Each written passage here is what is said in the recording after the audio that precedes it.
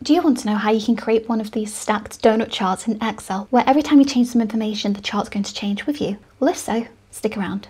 So what we need to do is use the left click of our mouse to highlight all of this information, and then we're going to go to Insert, and then we're going to find this little pie icon down here, Insert Pie. Now we've got the option down here to go to More Pie Charts.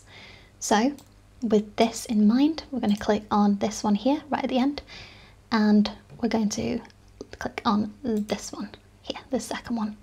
So click on OK and we can just move this up here just so we can see it closer. And what we're going to do is format this. So we are going to just click on this sales bit here because that's the title, the chart title.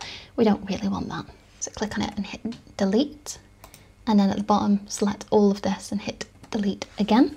And then we're going to right click and then we're going to click on this here and right click and go to format data series. And here we're going to amend some of this here. So we're going to change that to 200. We're not going to change the donut explosion and the donut hole size we're going to change as well. And if we reduce this, you can see that that makes that quite big.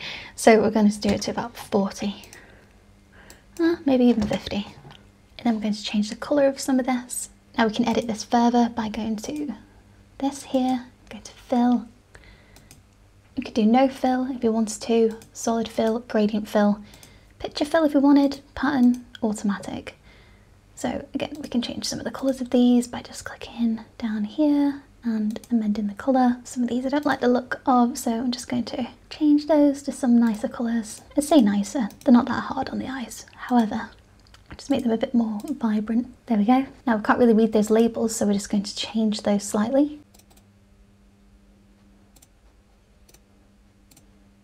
That's better, isn't it? There we go.